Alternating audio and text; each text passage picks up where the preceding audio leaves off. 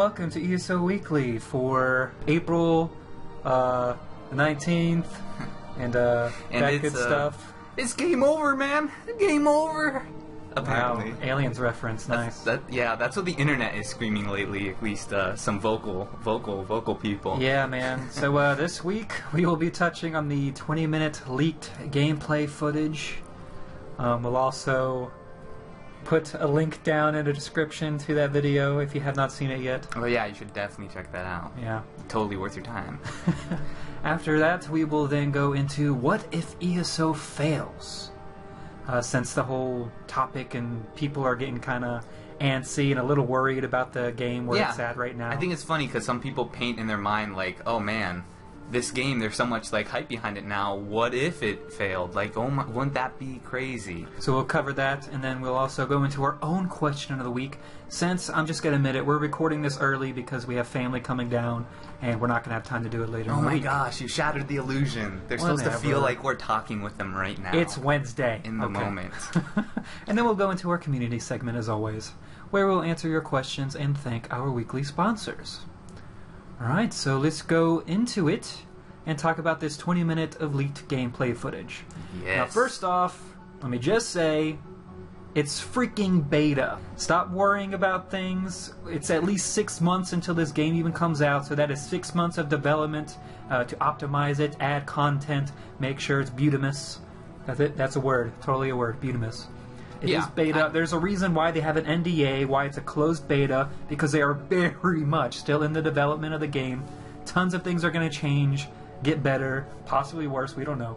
Sure, and I'm, it's a good point to bring up because, you know, and at the risk of sounding like a bunch of fanboys, you know, jumping to the defense of the game, albeit, you know, people's comments and concerns that they've been pointing out in this leaked beta footage have been valid, and, you know, it, and if a game like that released, like, right now, I probably wouldn't have enjoyed uh, certain aspects of it either. I can tell you for sure, and we're going to go into that more yeah, I will say uh, the important thing to keep in mind is the fact that, you know, there's a limited amount of people playing it, and there's an NDA on it for a reason.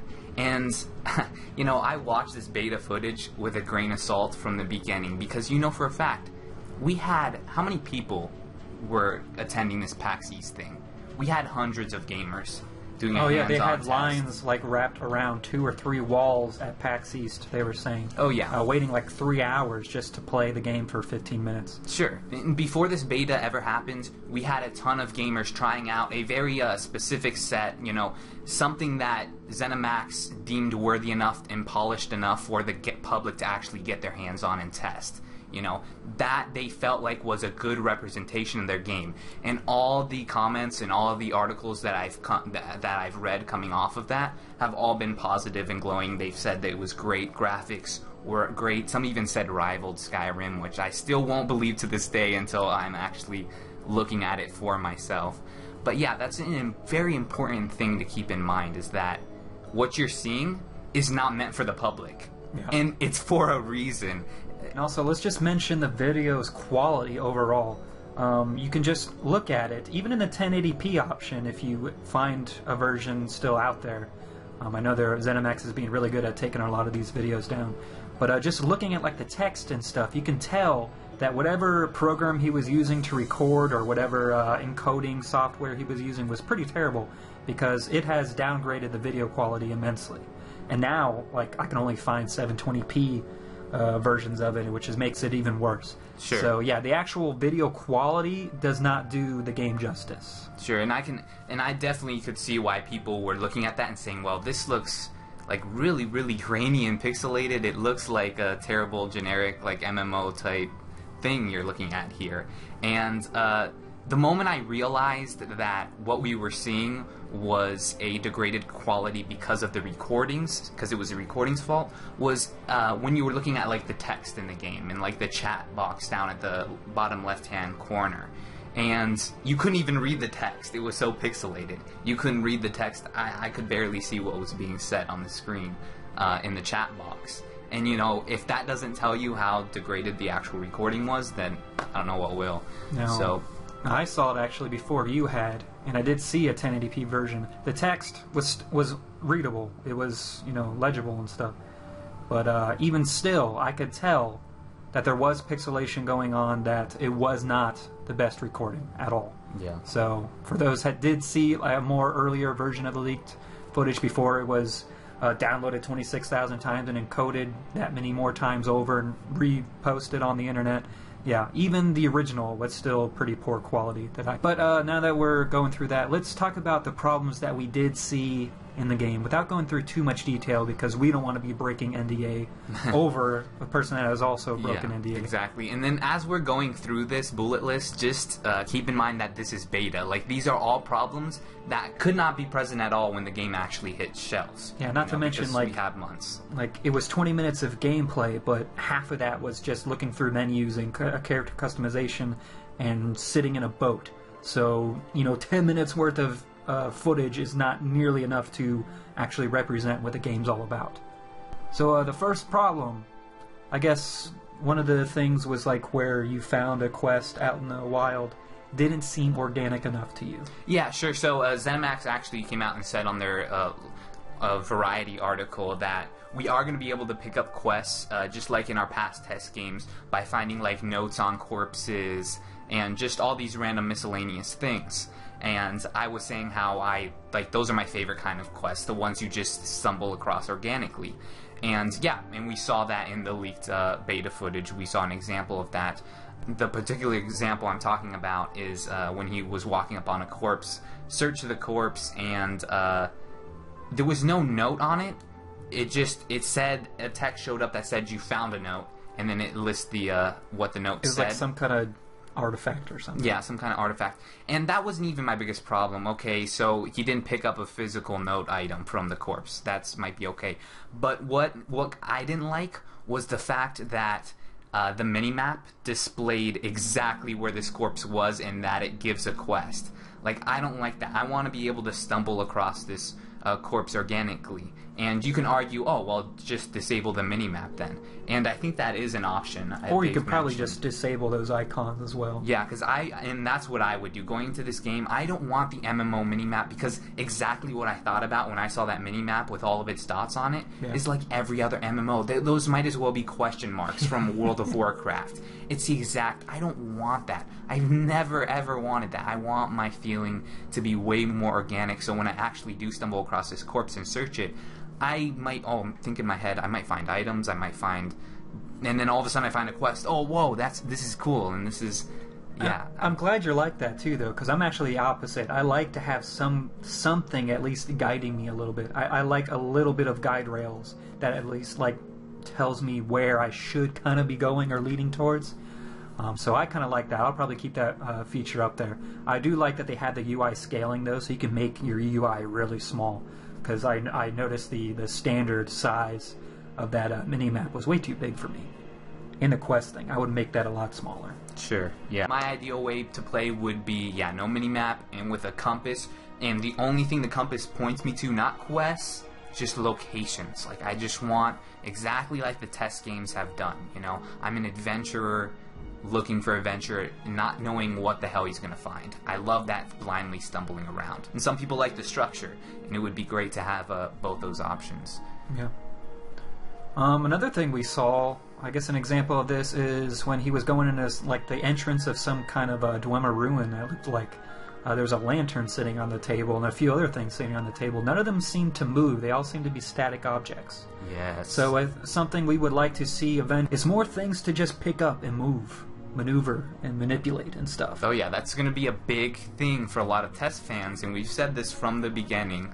Is that all the little knickknacks, the shinies that you find scattered around the world, and particularly in houses and you know in indoor and close places, like that's fun. Like what's not fun about shooting a sweet roll off the table? It's fun, and uh, yeah, we didn't see that in the beta. And again, this could be just because it's beta, and that's what I'm going to chalk it up to until I actually get a hands on with the finished product. But yeah, we're going to want to be able to manipulate uh, objects. We don't want cardboard scenery, just static things glued down to tables. That's boring. That's not tests. All right, and uh, another thing that you didn't really like, I didn't mind it though. They might be just placeholders, but the uh, the menu system that they're using right now, it kind of just plain black background, a little a little opaque, but you can still see through it, and it kind of fades in. It's it's graduated, I guess you would call that.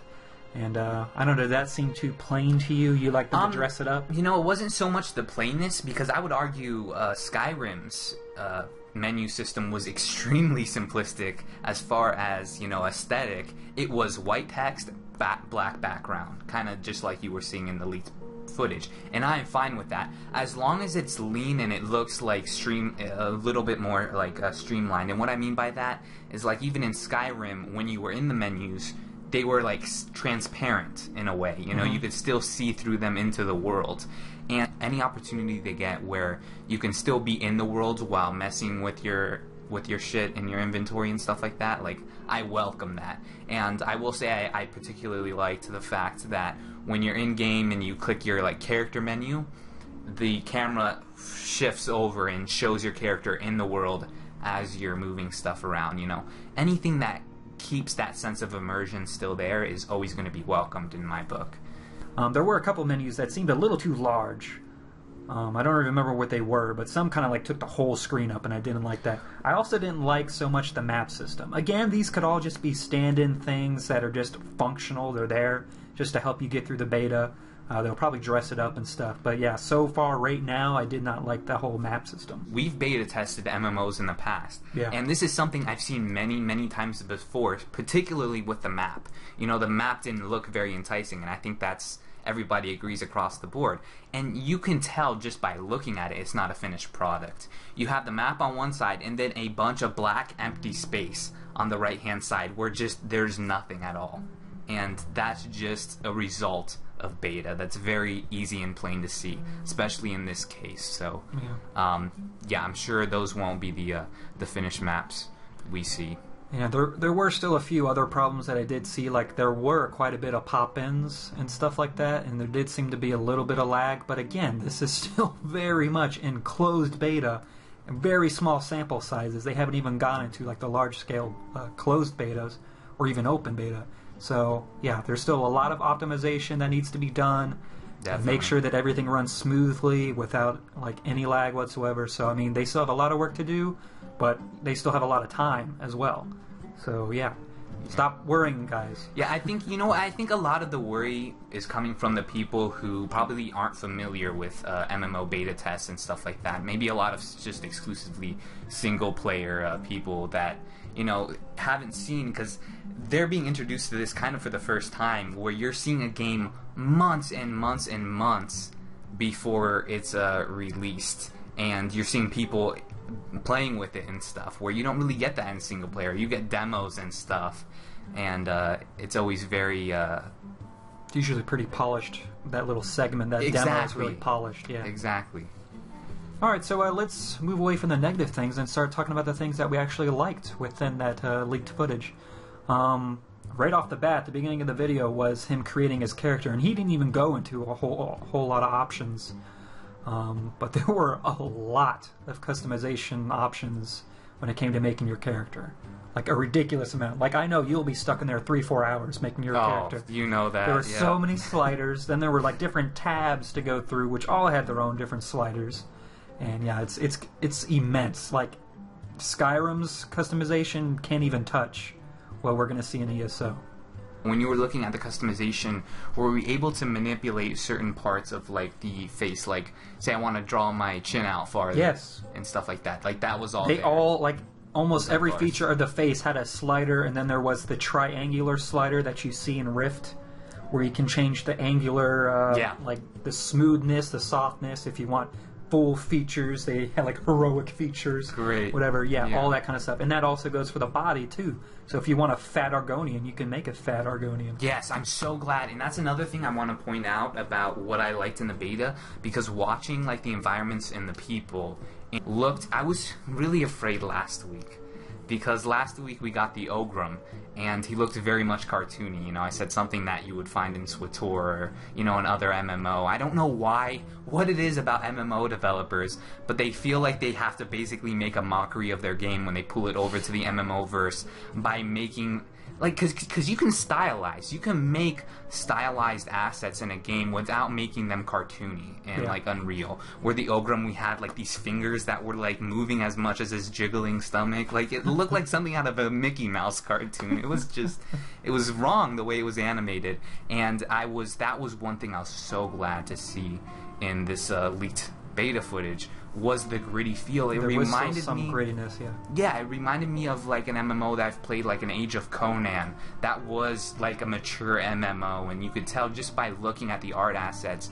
Uh, I was particularly drawn to the uh, particular clothing that this um, mage character was wearing. You know, this was a cloth robe, but it wasn't like a neatly pressed, you know, colorful cloth robe. This thing had tears and like you can see he sewed it in Yeah, places, stitching and stuff, yeah. Stitching and stuff. Like that was neat. And the characters also looked very sinister. You can make them look ugly. Yeah, we you can saw make them however you want. you can, and that's what I hated about uh, Guild Wars 2. That was an aspect I did not like. Everyone was beautiful. Everyone's a supermodel in that game. Everyone's a supermodel in Well, there game. were a few that were pretty ugly. I can Um, make a pretty ugly Norn. Yeah, I mean, if you really try, you can make an ugly, but you couldn't really get gritty. You Yeah. couldn't. You were. Oh, you always had this clean face. It was all pretty and perfect. And you know that's what I liked about Skyrim coming over from Oblivion was that they had dirty faces and stuff. Like these look like adventurers, people that were wanderers and stuff. And that's I definitely got that from the leaked footage. So uh, yeah. Kudos.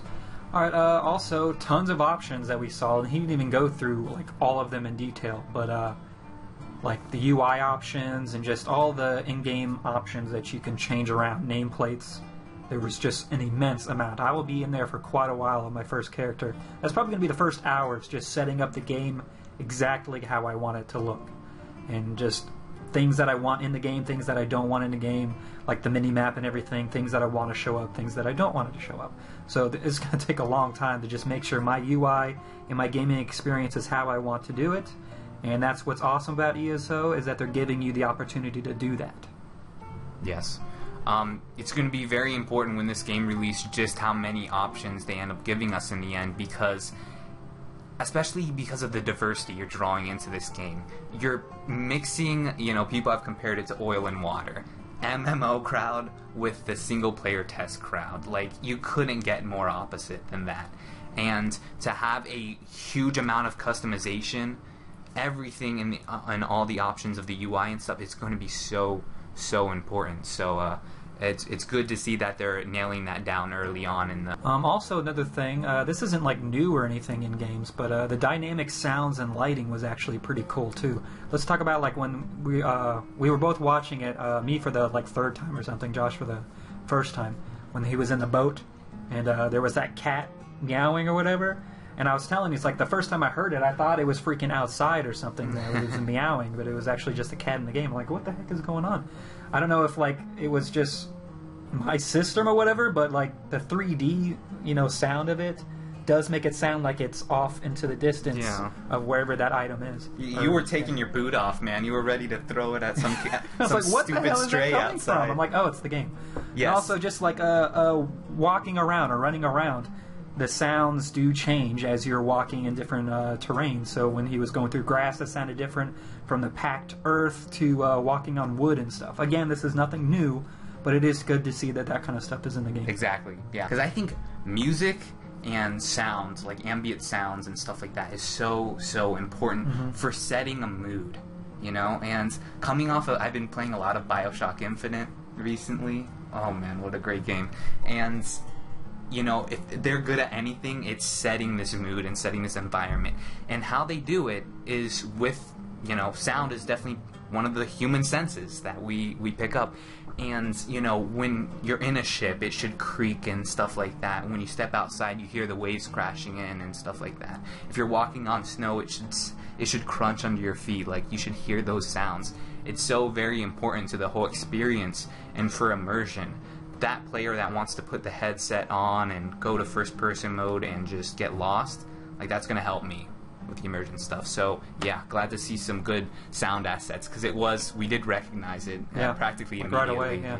And even the uh, the lighting was pretty good. It, it reminded me a lot of Skyrim. You know, whenever you like leave a cave and like takes just a, a split second for the light to kind of like whoosh on you, kind of like how your eyes normally work. Yeah, like your eyes have to adjust Yeah, to the light. they they had that when he if you if you watch it again uh, when he leaves the boat for the first time that light takes a uh, like a split second to kind of just whoosh on you. It doesn't just all of a sudden bright. No, it like yeah, it just reminded me a lot of Skyrim.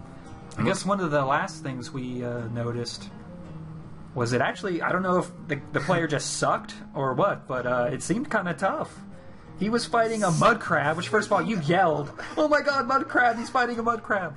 yeah, uh, he was kind of getting owned a little bit by that mud crab. He was getting pwned by that mud crab, man. Those are nasty creatures, you know. Apparently. And uh, he was getting his ass whooped, and that's it was great to see. Every time those wolves just chomped into him and he died, Yeah. spamming the same ability, like that was great to see. And I hope this game. I hope they don't dumb it down at release.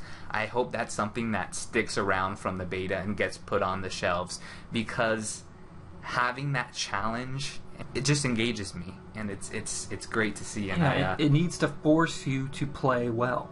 exactly It cannot be a face roll. I mean, a lot of us are tired of face rolls. I mean, there's so many MMOs out there that just keep dumbing their systems down to just or mechanics down to reach the most amount of people, and it's just it's it's been killing the genre. oh for yeah it's mass appeal they're all trying to go for mass appeal and the best way to do it is to dumb it down for a little five-year-old Jimmy. Sorry for t- to any five-year-old viewers out there. uh, I'm sure there's many of them. Yeah. But uh, gone are the days for me. I'm I used to love the MMO where I could play it on one screen and watch something else on the other and just tune out basically. But I'm I'm done with those days, man. I want something engaging. I want something that holds my attention because that's when you know it's good. Yep. Okay, so I guess that's all we are going to talk about that gameplay footage. Um, so yeah, we don't condone people taking or breaking NDA to upload this kind of stuff, especially such a poor quality video. Um, but honestly, I am glad I saw some of this Yeah, stuff. hey, if you're gonna leak it, at least do it right, man. Come on, give us the high res. Give us, give it, up, give it to us I in mean, all yeah. its glory. But So stop breaking NDA, but I can't say that I wasn't glad to at least see some of the stuff in there. oh yeah, I mean, So, uh, uh, secretly, like it was fun getting to see like, and all it does, it doesn't hype me. It doesn't like discourage me neither. Like my opinions remain unchanged. If anything, it just cements the things that I've been, you know, talking about and and been discussing with Yeah. you. And I guess just a final note on it for you guys that have been discouraged by it, don't freaking worry. It is closed early beta. Still six months or six months or more of uh, development to go into this game still. Uh, they have a lot of work to do, a lot of time to do it in, so don't worry. It's just part of the process. We'll, we'll see the final product eventually, and hopefully it'll blow our minds. And if it doesn't, we'll be moving on. That's, that's what our next topic is. Yeah, look at that. Did you like that transition? It was beautiful. it was lovely. Except now that I'm pointing it out, it totally Yeah, destroyed way to go. So what if ESO fails? God forbid. Oh my gosh! Oh no! It'll be the end of the world as we know it. Yeah, um, it's, it's a fine. it's a great topic to talk about because nobody knows, right? Nobody. This could release and be the best thing since sliced bread, or it could release be completely and utterly generic and fade away into the realm of oblivion. Haha. T reference. T he the void See how I did that? with Sithis. yeah. All right. Uh, so yeah, let's just say it. It would not be the end of the world. I mean, no, no, it would be. It would it, be. it would not. It would be the end of Tamriel maybe in in the game, but as for our world, it would not be the end of the world. Yes, it would totally suck, and we would feel let down and everything. But I mean, come on. Uh, if it is subscription based, it can always go to free to play, and then like it would still be worth popping in there from time to time and just playing it. It might not be though. That's That's true. If it might is be- that no, terrible- seriously, it could be absolutely. Got if this, I'm not gonna play this. And let me make this now. Let me be clear. Uh, if this ends up being an average MMO, maybe just a little fun. Maybe it's fun just because I'm playing it with friends. Like I'm not gonna stick around. I'm gone are those days. I've like I've said before. I've played 12 plus MMOs in the past, and I have stuck around for hours and hours in an MMO that was just mildly amusing. And I did it because I had a lot of time on my hands back then. Like nowadays, I'm a busy guy, and with all the great games that release, I'm going to stick to just those great games. I'm not going to waste my time away in a mediocre. I mean, what would be would it would be the same for you? Would you stick around if it let's say it was just me it was meh. It was meh. I would still give it a chance. I guess like uh, Guild Wars 2. I still I still stuck in there and uh, played after completing my first character, and I thought uh, it's it might be worth just sticking in there and uh, continuing on. Maybe they'll come out with more content and sure. it'll pique my interest again, but it just has not happened. So I, I pretty much have just stopped playing that. Now maybe when the next expansion comes out, come uh, I might get into it, but I don't know.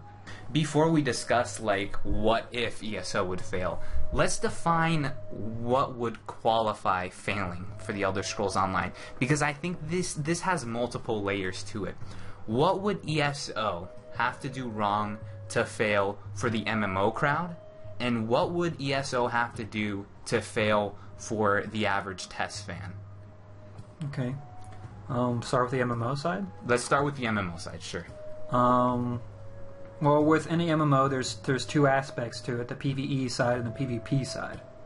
So I guess first off, with the PvP side, if it's not fun or you know, like Cyrodiil, if Cyrodiil, Cyrodiil ends up just not being fun, or if it just ends up being a, a dumb Zerg fest or something, brainless, killing each other and not getting anywhere doing it, Sure. then I guess that would just not be fun for a PvP person.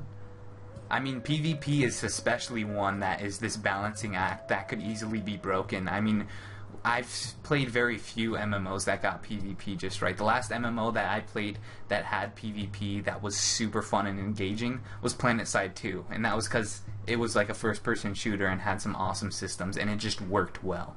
What about the PvE side of it? Um. Well, let's look at Guild Wars 2 and what uh, we feel they did wrong, and that was uh, having no end game whatsoever. They said that their entire game was its own end game. No, there was no end game to that game at all. There was nothing to do once you finished your character and got the gear you liked because there wasn't a whole lot of gear to begin with, and it all looked ugly, by the way. Um, so, yeah, there has to be some kind of progression after you have reached your level cap. And from what we Sure. what it looks to be like that there will be a lot of endgame to do. But then we don't just want plain boring endgame. It needs to still be engaging. We still need to feel like we're having fun doing it. Yeah. It's not just a grind. Sure, sure. Um, I would say, uh, and SWTOR also failed with the uh, PVE players, right? Yeah. And af- yeah, uh, after the main story. you would be able to attest to that more than me because you were more on the PVE side of things, and uh, it failed. Just it didn't have enough uh, end game uh, raids. Yeah, right? they, they took way too long to come out with new stuff, and there's only a few instances to do. So after that, the the only thing there was to do is like two, three instances, uh, and then collecting uh, those cube things. Uh, that was pretty much Oh, it. those relics and stuff. Yeah. that was pretty much it. What ESO would have to do to succeed for the average Elder Scrolls gamer? Well, And you go for it, man. I mean, I, I firmly believe this.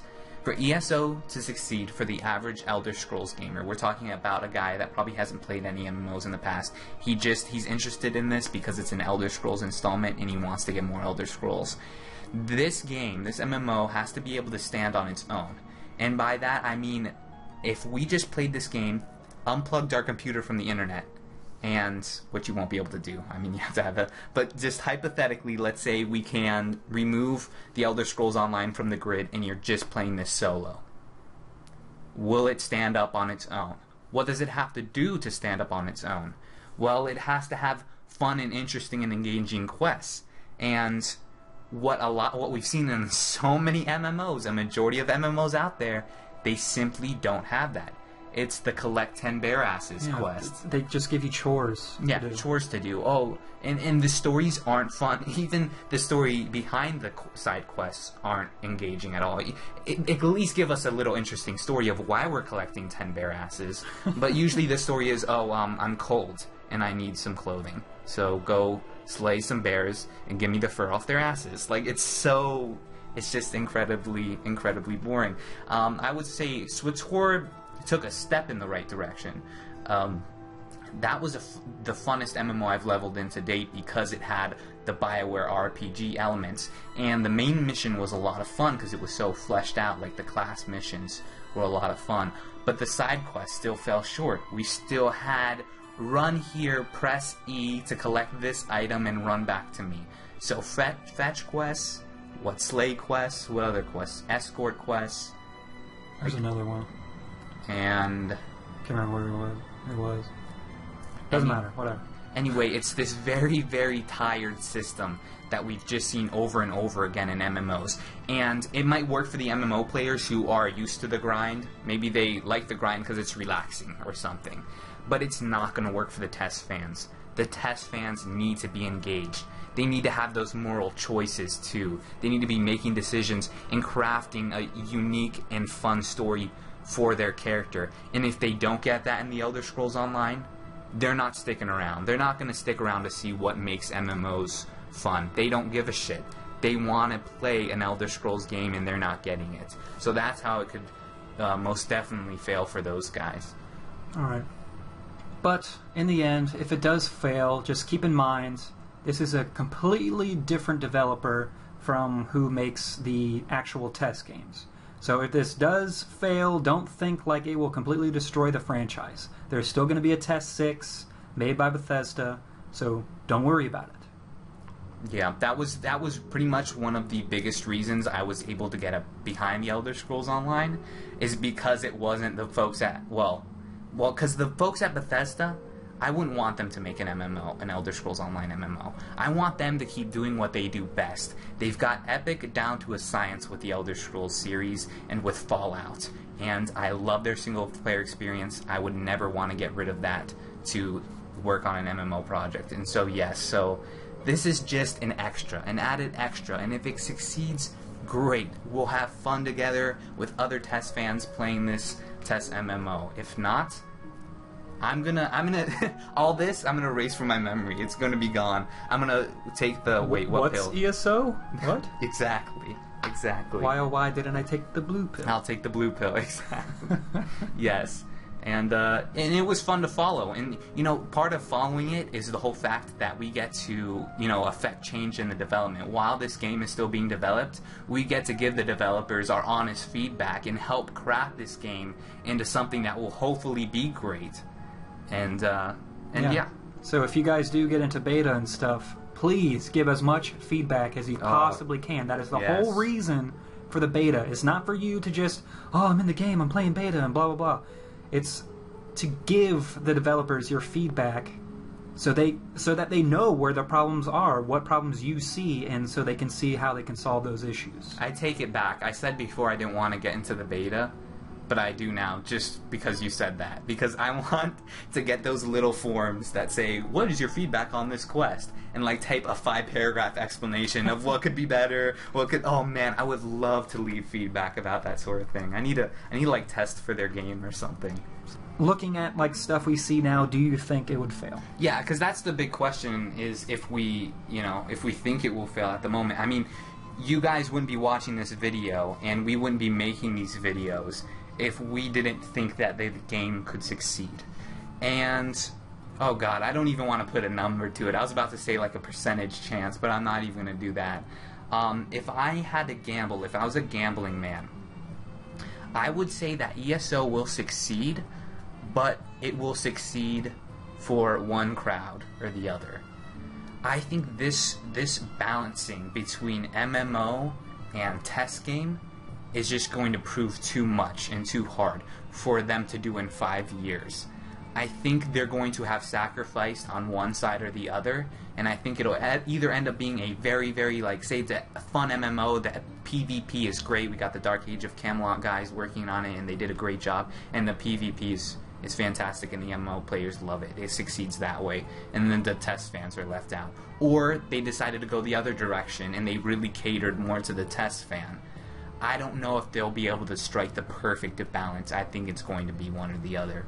So that's that's where my prediction lies. My hopes obviously lies with the marriage of these two groups in that they do strike that perfect balance. And I'm rooting for them to doing that and I'm following them for that reason. Is because I, I hope they are able to merge the two. But I think even if this, and I don't, I don't think ESO is going to fail. I think there's just there's too much backing on it. There's too And- many fans that are. They may even be blinded by just the fact that it's a TES game that they won't even admit it's a terrible game. But I honestly think it is going to uh, Well, uh, succeed and immensely. Star Wars: The Old Republic had a lot of people behind it, and they still like they had a massive amount of people. Yeah, but look at that game. Even if it does fail, it is still going to succeed in the fact that it is branching the distance, or uh, you know, shortening the distance between the MMO crowd and the the single player crowd. So it is going to uh, be a good stepping off point, I guess, uh, for a TES fan to play an MMO who hasn't played an MMO, like uh, Shank from uh, Elder Scrolls Off the Record. He's never played an MMO before. This is going to be his first one, and it is going to help introduce him to the genre. which I think is great. Yeah, and it's going to be the exact opposite for the MMO crowds who have not played a TES game, which I know there's some out there. So they are going to be they're going to experience uh, at least a TES esque game. Uh, so Yeah, we'll that is going it's yeah true TES or not. going we'll to at see. least introduce them to the universe Sure. as a whole. So. I mean, yeah, it's it's going to be good for bridging that gap between uh, two such immensely different genres. All right, so that's uh, our spiel on what if ESO fails and how we feel about that. Let's move on into our own question of the week since we are filming this on Wednesday due to family. I don't, I don't want to call it issues because it's not an issue. Yeah. But uh, Due to Family Matters. Wait, no, that's a show. oh, Um, wow. Due to family business. we are moving on to our own question of the week since the developer question of the week isn't out yet.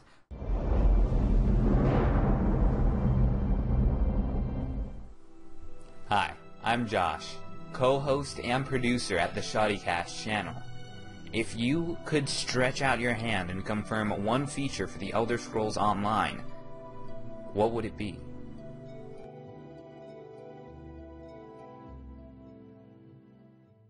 I mean, if development time, money, like nothing was an issue, you could live. You were you're God, and you could just stretch out your hand and say, "This is an Elder Scrolls Online. This is a feature. It's fully fle- fleshed out, fully realized."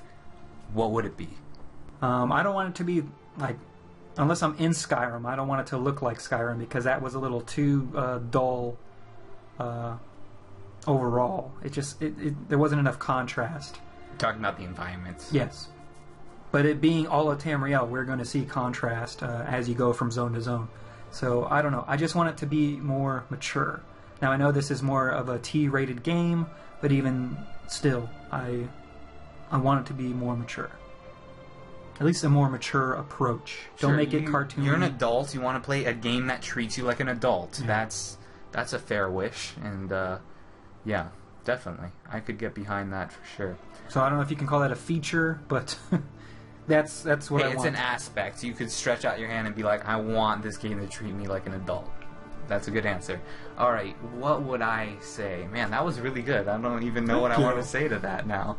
Um, mine's gonna sound lame. What sucks? Um, I wanted a fully realized crime system to be in the game at launch. They talked about a crime system. Uh, they talked about having some sort of crime system Like in a place. morality. No, they were talking about morality. Yeah, that's about choices and stuff. But they were talking about adding a crime system system later with like the Dark Brotherhood after the game's launched. And I would want a fully realized, fully fleshed out crime system in the game at launch. And what I mean by that and why I want it is because I think the crime system is extremely, extremely important to character freedom and choice, and it makes your decisions a lot more, well, they carry a lot more weight in the world. And what TES game did it the best, at least from what I played from it and what I've uh, spoke to to people who are particularly fond of Morrowind. There's a couple out there. There's a couple people that like Morrowind. I Just a few. yeah, just a few of them. And uh, and that game did like crime extremely well in the fact that you could kill literally like anyone you wanted. There weren't these marked quest givers that were important and you could just knock them unconscious. Like everything was killable. Every person. And you killed a guy, you had to live with the consequences. Like the world reacted to that consequence. So let's like take Skyrim for example. If you wanted to end the rebellion in a day and go kill U- Ulfric Stormcloak in his keep, like you could do that, and there were consequences to the action. He wasn't this marked character that was too too important to die, you know. To have now, how the hell they would do that? That's why this question was worded very specifically. I have no idea how that could be implemented in an MMO correctly, but if I could even get a fraction of that in an, in in an Elder Scrolls MMO, I think it would be a lot of fun. I'm a bad person. I'll say it. So what if I kill a oh. chicken though? Will I be immediately killed by guards? No. no. That should you should get a warning. Seriously, like a slap Right? on the hand. Like pay us a couple golds, we'll let you be on your way. At least compensate us for the damn chicken and we'll let you be on your way. Death a little too far, a little too harsh. but yeah, fully realized crime system would be good cuz as I said, I'm a bad person. All right, so moving into the community segment, we will go ahead and start answering a couple questions. We are kind of running out of time, so we will go ahead and get into these. Uh, so, one thing I love in games when it is offered is actually being a viable unarmed player. So, in Skyrim, I run a barbarian werewolf wildman class and beat to death bandits with my fists. Do you think I'll be able to run something like that in ESO and still be viable? So, uh, unarmed combat has not been uh, confirmed in ESO by any means.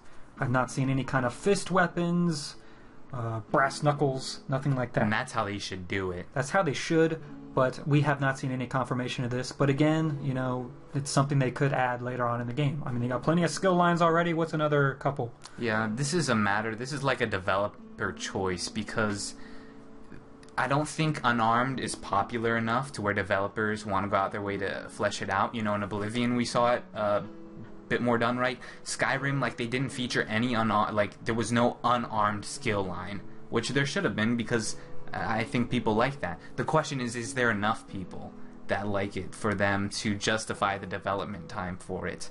And I don't know. Let, let us know in the comments because I think the people who liked unarmed combat are pretty vocal about it. Yeah. Um, I've never, never played a TES game doing unarmed. There's way too many badass weapons to forge and, and create and to use and, and pick up to where I'd want to use my fists instead. But Uh, Uh, so uh, as as the game sits now, uh, it's pretty unviable to do so. It's not to, not saying that you couldn't just not equip a weapon and use just uh, class skills and other skills, magic skills. You can still do that, but then you're still going to miss out on like the stats on the weapon and stuff, and a lot of damage because a lot of your DPS is going to be coming from weapons, as your your other skill lines are going to be more situational type. Unless the developer goes out of their way to actually make systems for this thing, you're not going to want to use it. So if unarmed is very important to you, you know, go on the forums and let them know. Let them know like unarmed would be cool to have in the game, and it all depends on how much it's in demand. You know, how many people actually want it. So we will now go into thanking our sponsors for the week. Now keep in mind, again, we are recording this on Wednesday, so if you had uh, donated after this point, uh, we will get you guys next week. So first donation was from Mark Dixon. Thank you, sir. And then once again, uh, another legendary legendary Dragonborn status of uh, Sterling Jennings. Thank you, sir. Once again. Dragonborn. Let's all have a moment of silence. Sterling Jennings is our number one contributor. Just a moment of silence for Sterling Jennings. Okay. But yes, thank you, sir. And uh, again, if you guys do want to donate, just go to our website, shoddycast.com, and below the weekly polls, which I have finally updated with new questions, uh, you can go ahead and hit the donation button, and anything you, contribute is welcomed, and we thank you for. All right, so uh, before we close out the episode, I want to thank all the people who sent in their gameplay footage for us to use. It is so, it's much, much appreciated. And uh, yeah, that's the footage you've seen in the background today. Was brought to you courtesy by uh, one of our nice, friendly donors. So uh, thanks for that. Thanks for tuning in, guys. This has been the Shoddy Cast. Don't forget to like and share. I have been Josh. And I'm Kyle. We'll catch you later. Boy.